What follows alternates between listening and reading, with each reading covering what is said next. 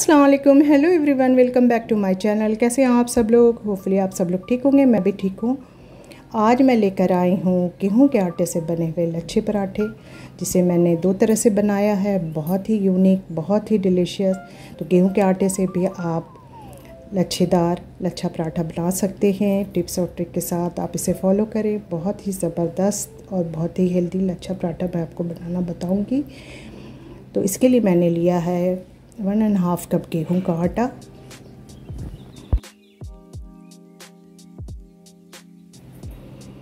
और फ्लेवर के लिए इसमें मैंने डाला है हाफ़ टी स्पून अजवाइन तो इसे अच्छी तरह से हाथ से इस तरह से क्रश कर लेंगे।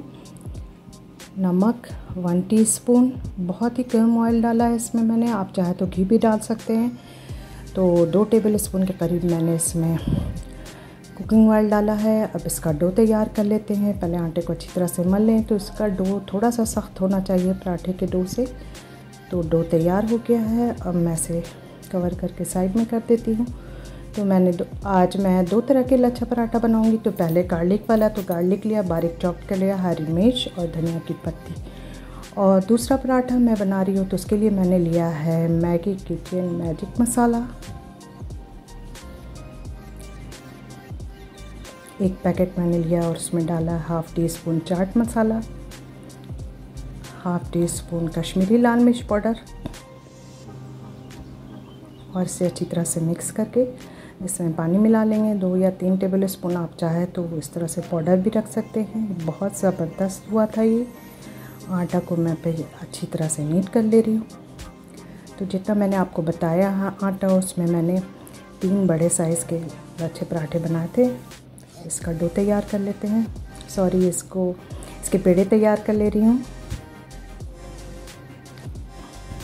और आटे की मदद से इसे बारीक बेल लेना है। जितना पॉसिबल हो सके उतना आप इसको पतला कर लें।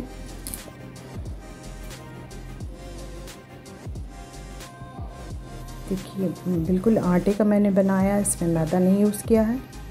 बहुत ही ज़बरदस्त हुआ था। बहुत अच्छे इसके लेयर्स आए थे। अब इसमें मैं लगा ले रही हूँ कुकिंग ऑयल तो वन टीस्पून के करीब मैंने कुकिंग ऑयल लगाया है। बहुत कम तेल के साथ बहुत ही अच्छा तैयार हुआ था ये लच्छा पराठा।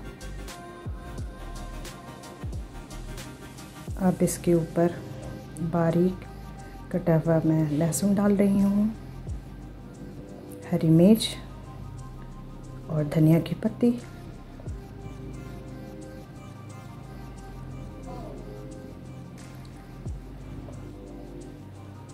ये मैं मैं हमेशा बनाती हूँ तो इसे मैं हल्के हाथों से बेल ले रही हूँ। देखिए, ताकि अच्छी तरह से सेट कर जाए, धनिया की पत्ती और जो लहसुन है। अब इसके ऊपर आटा मैंने डस्ट किया है, थोड़ा आटा ज़्यादा हो गया था। तो इस तरह से आप छलनी से करें तो बहुत अच्छे से हो जाएगा। अब इसे बिल्कुल बारीक मैंने इस तरह से काट लिया है स्ट्राइप्स में। जिस तरह से लच्छा पराठा बनाया जाता है, एक के ऊपर एक इस तरह से रख लेना है। इस तरह से। यहाँ पर भी मैंने कुकिंग ऑयल का यूज़ नहीं किया। तो हेल्दी पराठा आप बच्चों को बना के दें, चटनी के साथ या टमाटो सॉस के साथ बच्चे बहुत शौक़ से खाएँगे। अब इस तरह से इसे रोल कर ले रही हूँ मैं। तो देखिए ये तैयार हो गया है।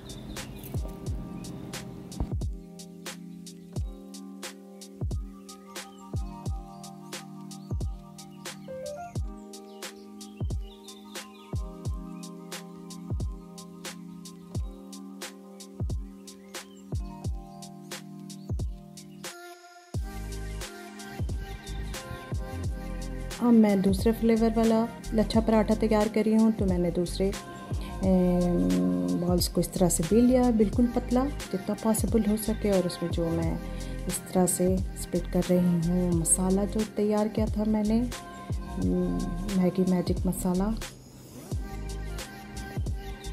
तो आप चाहे तो ब्रश की मदद से करें, मैं हाथ से ही कर रही हूँ, ज़्यादा कंफर्टेबल लगता है मुझे। बहुत ही टेस्टी हुआ था ये। और उससे पहले मैंने ऑयल लगा लिया था वन टीस्पून से थोड़ा कम ही दिया था। आटा को इस तरह से डस्ट कर लेना है। और मैं इसी तरह मोड़ ले रही हूँ इस तरह से, जैसे बचपन में हम लोग कागज़ के पंखे बनाते थे फ़ैन बनाते थे, उसी तरह से, इस तरह से। इसे मोड़ लेना है और रोल कर लेना है। किस तरह से रोल कर लेना है? तो बहुत ही इजी कच्चा पराठा तैयार हो गया और उसके को बीच में इस तरह से करके दाब देना है। और इसे भी हल्के हाथों से बेल लेना है तो ऐसे भी आटे की मदद से हल्के हाथों से बेल ले रही हूँ। व्यूवर्स आपको ये रेसिपी पसंद आई होगी तो प्लीज़ लाइक करें शेयर करें और ज़रूर ट्राई कीजिएगा। ये मसालेदार लच्छा पराठा बहुत ही ज़बरदस्त, बहुत ही फ्लेवरफुल हुआ था।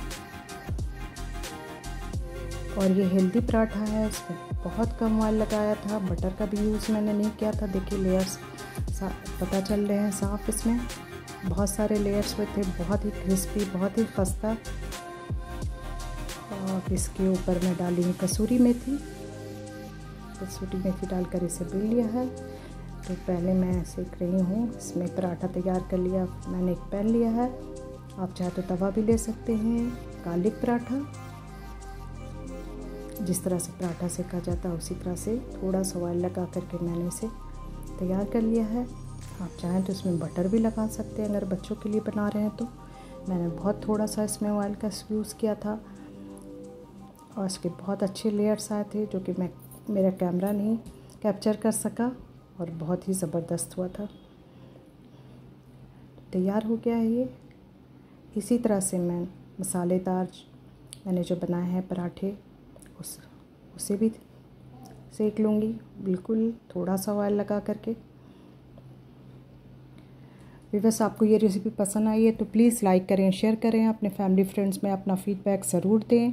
और मेरे चैनल को जिन्होंने सब्सक्राइब नहीं किया काइंडली चैनल को सब्सक्राइब करें। इंस्टाग्राम पर भी मुझे फॉलो करें, अपना फीडबैक दें। और वीडियो को लाइक ज़रूर करें। तो बहुत ही इजी में अच्छा पराठा तैयार हो गया है। आई होप कि ये रेसिपी आपको पसंद आई होगी। तो फिर मिलते हैं एक नए रेसिपी के साथ। टेक केयर अल्लाह हाफिज़ बाय और मैं